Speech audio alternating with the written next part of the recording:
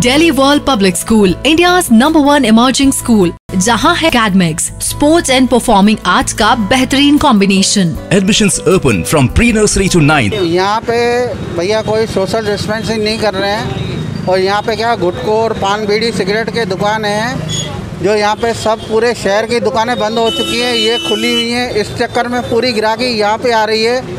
इस चक्कर में ये दुकानदार ना डिस्पेंसरी बना पा रहे हैं, ना किसी ग्राहक को मना कर रहे हैं। और इस चक्कर में हर कोई गिरा के एक दूसरों के ऊपर गिर रहे हैं। इस चक्कर में ये चार दुकानें ही पाँच दुकानें हैं जो ये कारण यही है क्योंकि ये पान बीड़ी सिगरेट बंद होने के कारण लोगों को मिल नहीं रहा। होलसेल की दुकानें बंद हो गई तो इसलिए ये रिटेल की दुकानों पे आ रहे हैं। कैसी सूचना आई तो दुकानदार जो भगदड़ मच रही है क्या कारण है?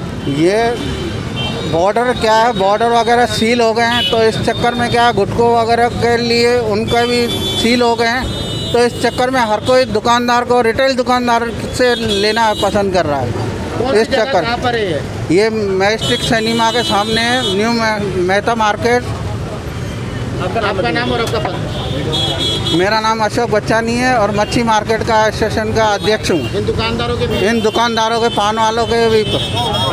हमारी दुकानों का भी नहीं है। हमारा बेल्ट बेल्ट का काम है इधर बेल्ट बेल्ट गुटके का काम है सामने।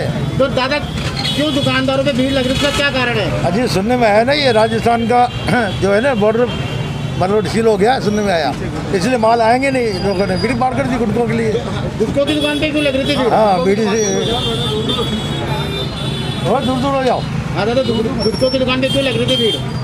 बाबूजी सुनने में आया माल आएँगे नहीं इसीलिए लोग उधर मर रहे हैं। क्या गुटकों पे प्रतिबंध लग रहा है वहाँ पे? प्रतिबंध की नहीं सुनिए सिर्फ़ बॉर्डर सील हो रहा है ये सुना ठीक है आपका नाम? हरीश कुमार।